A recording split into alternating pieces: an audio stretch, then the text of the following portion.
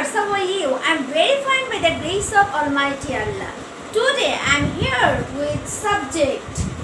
আসলে আমি এখানে সাবজেক্ট নিয়ে এসেছি এবং সাবজেক্টের ভেতর কি কি বসতে পারে ঠিক আছে মানে সাবজেক্টের জায়গায় কি কি বসতে পারে আজকে এটা নিয়ে আলোচনা করব আমরা সবাই জানি সাবজেক্ট হচ্ছে একটি বাক্যে যখন কে দ্বারা কোনো প্রশ্ন করা হয় কোনো সেন্টেন্সে যখন কে দ্বারা প্রশ্ন করা হয় তখন আমরা সাবজেক্ট পাই ঠিক আছে সাবজেক্ট অর্থই হচ্ছে কর্তা সাবজেক্ট অর্থ কি কর্তা যে কাজ করে সেই হচ্ছে সাবজেক্ট তাহলে এই সাবজেক্টের জায়গায় আমরা কি কি বসাতে পারি সাবজেক্টের জায়গায় আমি ছয় জনকে বসাতে পারব কয়জনকে বসাতে পারব ছয় জনকে বসাতে পারব। প্রথমে আমরা সেন্টেন্সের স্ট্রাকচার হিসাবে জানি সাবজেক্ট প্লাস ভার্ব প্লাস একটা সেন্টেন্স হতে গেলে অবশ্যই সাবজেক্ট লাগবে সাবজেক্টের পরে ভার্ব এবং ভার্বের পরে অবজেক্ট লাগবে। তাহলে আমার এই সাবজেক্টের জায়গায় কি কি বসতে পারে? এখানে ছয় জন বসতে পারে, ঠিক আছে? তাহলে নাউন বসতে পারে। এখন প্রশ্ন আসতে পারে নাউন আবার কি? নাউন অর্থ হচ্ছে কোনো কিছুর নাম কি নাউন বলে। আরও সহজ করে আমি বলে ফেলি, আমরা আশেপাশে বা আমরা যা দেখি, আমরা চোখে যা দেখি সব কিছু হচ্ছে নাও আমাদের ঘরের ভেতর কি আছে, আমাদের বাইরে কি আছে, আমরা যেখানে যাই, কি কি দেখি সব কিছু হচ্ছে নাও তাহলে কোনো কিছুর নামকে আমরা নাউন বলি। নাউন যেমন হচ্ছে কি টেবিল, চেয়ার, মানুষ, দেশ, যা যা দেখি অ্যাকচুয়ালি গণে শেষ করা যাবে না যে নাউন কি। তাহলে আমরা সাবজেক্ট হিসাবে আমরা কি বসাতে পারি? নাউন বসাতে পারি। যেমন, রহিম, করিম, বিভিন্ন নাম। রহিম, করিম, তারপরে হচ্ছে বিভিন্ন যদি দেশ লিখি, যদি সিটি লিখি সব কিছুই হচ্ছে নাম, ঠিক আছে? তাহলে সাবজেক্ট হিসাবে আমরা নাউন ব্যবহার করতে পারি। যদি বলি, Rahim is a good student তাহলে রহিম এখানে কি? নাউন এবং এটা একটা সাবজেক্ট যদি বলি, Dhaka is the capital of Bangladesh Dhaka is the capital of Bangladesh ঠিক আছে?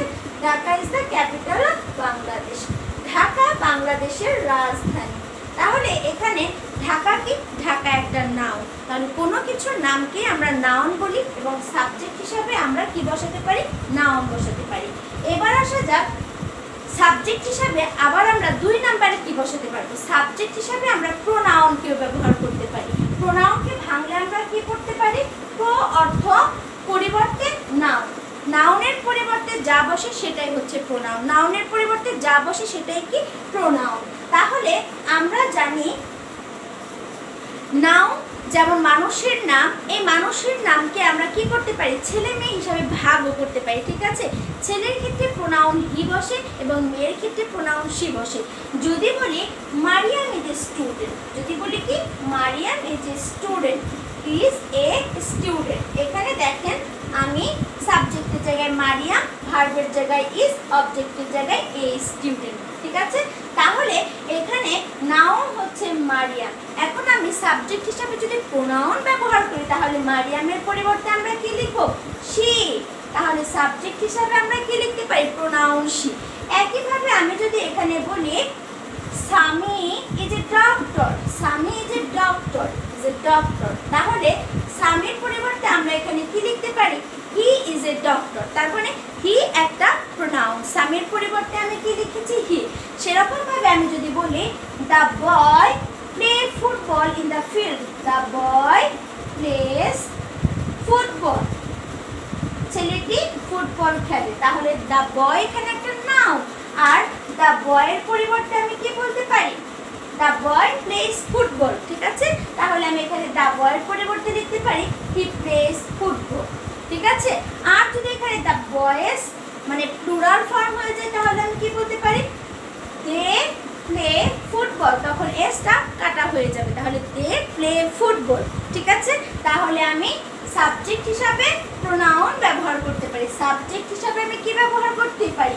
প্রোনাউন ব্যবহার করতে পারি। এবার আসা যায় সাবজেক্ট হিসাবে আমি তিন নাম্বারে কি ব্যবহার করতে পারি? সাবজেক্ট হিসাবে আমি জিরান ব্যবহার করতে পারি। জিরান্ট কি? এই প্রশ্নটা আসে। জিরান্ট হচ্ছে verb main verb plus ING main verb plus ING এটাকে আমরা জিরান্ট বলে থাকি। যেমন, ওয়াক একটা ভার্ব ওয়াকের সাথে আইএনজি যুক্ত করে কি হইল? ওয়াকি। ঠিক আছে? তারপর এখানে সুইম একটা ভার্ব এটার সাথে যুক্ত হয়ে কি হবে? সুইমিং। তখন ডাবল এম হয়ে যাবে। সুইমিং। ঠিক আছে? তাহলে জিরান্ড আমরা কীভাবে গঠিত করব? জিরান্ড আমরা গঠন করব সাবজেক্ট প্লাস আইএনজি কীভাবে এখন সাবজেক্ট হিসেবে ব্যবহৃত হবে আমাদের জিরান্ড আমরা কীভাবে গঠন করব ভার্বের সাথে আইএনজি যুক্ত করে জিরান হয়ে যাবে। এখন সাবজেক্ট হিসাবে এটা কীভাবে ব্যবহার করব? যেমন walking is a best exercise এখানে ওয়াক হচ্ছে ভার্ব জিরানের ফর্মুলা হিসাবে ING walking is a good exercise good exercise তাহলে আমরা সাবজেক্ট হিসাবে কি ব্যবহার করতে পারি? জিরান ব্যবহার করতে পারি। আমরা এখন চার নম্বরে সাবজেক্ট হিসাবে ইনফিনিটিভ ব্যবহার করতে পারি এখন চলে আসে দেখ ইনফিনিটিভ আবার কি ইনফিনিটিভ হচ্ছে to plus main verb to plus main verb এভাবে আমরা ইনফিনিটিভ ব্যবহার করতে পারি। যেমন টু ওয়াক একটু আগে জিরান করেছিলাম ওয়াক প্লাস আইএনজি এখন করব টু ওয়াক মানে হাঁটা। টু ওয়াক মানে হাঁটা। আবার যদি বলি টু সুইম টু সুইম অর্থ সাঁতার কাটা। তারপরে টু টেল অর্থ গলা। এগুলো সবই কি? ইনফিনিটিভ ইনফিনিটিভের স্ট্রাকচার হচ্ছে টু প্লাস মেইন ভার্ব এখন আমি সাবজেক্ট হিসেবে কীভাবে বসাবো? এখানে যদি বলি, মিথ্যা বলা মহাপাপ, তাহলে হবে to, tell, lie, is a great sin. মিথ্যা বলা মহাপাপ। এখানে টুটের একটা হচ্ছে সাবজেক্ট। তারপরে আমরা সাবজেক্ট হিসেবে কি বসাতে পারি? ইনফিনিটিভও ব্যবহার করতে পারি। আবার সাবজেক্ট হিসাবে আমি নাউন ফ্রেজ বসাতে পারি, ঠিক আছে? এখন নাউন ফ্রেজ আবার কি? ফ্রেজ অর্থ হচ্ছে the group of words phrase কি? দ্য গ্রুপ অফ ওয়ার্ডস তাহলে দ্য বয় এটা হচ্ছে দুইটা ফ্রেজ আবার যদি বলতাম দ্য গুড বয় এটা হচ্ছে তিনটা শব্দ একটা কি হয়ে গেল? ফ্রেজ হয়ে গেল গ্রুপ গ্রুপ অফ ওয়ার্ডস হয়ে গেল। সেরকম আমি লিখতে পারি দ্য বয় প্লেস ফুটবল আবার আমরা নাউন ক্লজ ব্যবহার করতে পারি। তাহলে সাবজেক্ট হিসাবে আমরা কয় ধরনের বা কয়জন বা কি কি বসাতে পারি? সাবজেক্ট হিসাবে আমরা ছয়জনকে বসাতে পারি। যেমন নাউন বসাতে পারি, কোনো কিছুর নামকে নাউন বলব প্রোনাউন বসাতে পারি। নাউনের পরিবর্তে যা যা আছে সব কিছুই হচ্ছে প্রোনাউন জিরান বসাতে পারি। জিরান অর্থ হচ্ছে main verb plus ING infinitive বসাতে পারি। To plus in to plus main verb noun phrase বসাতে পারি গ্রুপ অফ ওয়ার্ডস এবং নাউন ক্লজ বসাতে পারি। তাহলে ভিউয়ার্স আমার মনে হয় সাবজেক্টের জায়গায় আমরা কি বসাবো এই কনফিউশন দূর করে সাবজেক্টের জায়গায় আমরা ছয়জনকে বসিয়ে বিভিন্ন ধরনের বাক্য তৈরি করতে পারি। তাহলে ভিউয়ার্স আপনারা ভালো থাকুন এবং এই ফর্মুলাটা ট্রাই করতে থাকুন। আসসালামু আলাইকুম।